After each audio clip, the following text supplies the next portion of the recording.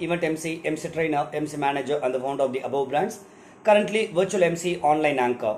So this is an up live to let you all know that I'm going to start my MCing live series once series once again. Like uh, most of you may be aware that I've been doing regular Facebook lives on the uh, events related topic, MCs related topic, event managers related topic, and uh, related topic anything related to event industry. And some of my lives are uh, based on the social awareness, technology, and other stuffs for time being i've stopped doing uh, lives related to events because uh, right now no physical events are happening. So that's what i did.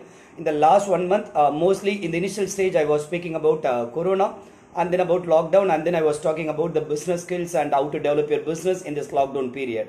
Now it's high time that i start my emceing series because i've already started doing online anchoring. I otherwise call myself as um, digital anchor. More than that to be precise I uh, established myself as an virtual MC, and I'll be explaining these uh, things also in my future lives. That why I would like to call myself as virtual MC, not a digital MC. All those things I'll be discussing.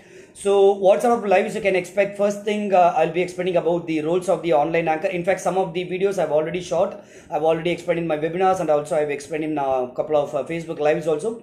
But I'm going to make it a series of lives. So, initially, a couple of lives would explain the roles of the online anchor and where all uh, we can uh, uh, be used like wh- where are the places our emceeing skills can be applied online in the virtual world like it can be a birthday party or it can be corporate event. Because when it comes for offline event i had around 50 to 80 different genres of events uh, but for online events i cannot bring all those genres here. For example one uh, one example i can say wedding. Wedding and sangeet i cannot host it online. As of now i may say i cannot host it online but in future it may happen. But at this situation wedding or sangeet is not going to happen online. But i can host birthday party i can host a corporate event.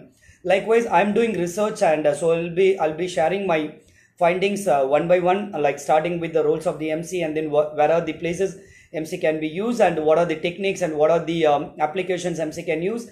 And also uh, as always uh, it would be three types of lives. One is for the clients to understand the role of the MC and understand the uh, importance of event management, in the, especially the virtual event management. Second thing for the event managers to understand what way they can make use of our services, whether event anchor or other professionals. And third, the last would be for the fellow MCs to uh, they can also learn from my lives. Like okay, because I do a lot of research, I uh, spend so much of time and money on my research, and I execute it and I host events. I talk to a lot of people, get opportunity, grab opportunity, create opportunity, and um, I, I I shouldn't use the word grab. I create opportunity over there and. Uh, I try to anchor the show so so that I get exposure over there. I find uh, what are the challenges uh, they uh, face there, or what, and what way that event would be useful for us or easy for us.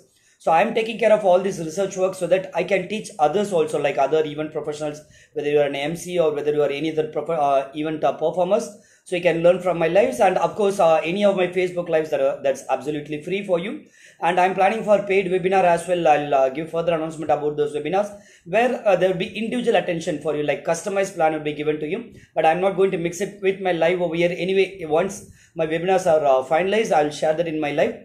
But as of now, all those all these materials are completely free for you. As always, uh, Facebook lives are free, and I'll be either doing it. Mostly, I'll not be doing it on my wall. I'll be doing it in my pages. MC Tamil, the page where I'm doing the live now, or else Chennai Event Professionals, or Chennai Event MCs, or Chennai Event Entertainers. So any of these four pages. Rarely, if it's a general live, it will happen in my uh, personal page, Thamizharasan Karunakaran, or else any of the professional lives happens in these four pages. So please do like all these four pages so that you get appropriate notification when I start the live or when I um, share the heads up. If you have any questions or if you have any comments, please feel free to leave uh, below this uh, live or you can contact me on my mobile number 900-308-7198. Alternate number 86102-57395. You can get to know more about me in my website chennaieventprofessionals.com. You can like our Facebook page Chennai Event Professionals to get regular updates and also you can watch our videos in our YouTube channel Chennai Event MCs and Chennai Event Professionals. And the live what I may be doing tomorrow or day after tomorrow that will be my first live on this topic like what are the other names an online anchor is called. Usually in the offline events, I used to say MC has a different name, Master of Ceremonies, MC, EMC, double E, Anchor, Games Jockey, Compere, like this. Event host. Likewise, in online, in uh, virtual terminology, what are the names an MC can be called? That's what I'll be uh, sharing in my first live. So please uh, keep looking for the first live. Thank you so much. MC Thamizharasan signing off. And one last thing, most of my lives may be in English as well because uh, since I'm doing it uh, for the virtual audience, uh, I'm expecting pan India audience, sometimes international audience as well, so that I can send my video for validation to some of the international trainers uh, so that I learn from them also based on my video. They'll give, me sharing with me some inputs. So uh, some of the lives may be in English and some of the lives may be in Tamil. However, I'm trying to uh, manage both. Like if I do a live on in English, I may be doing a recorded version in Tamil and I'll upload in my YouTube channel. Vice versa, I'll be doing. Thank you so much. Uh, Virtual MC Tamilism signing off.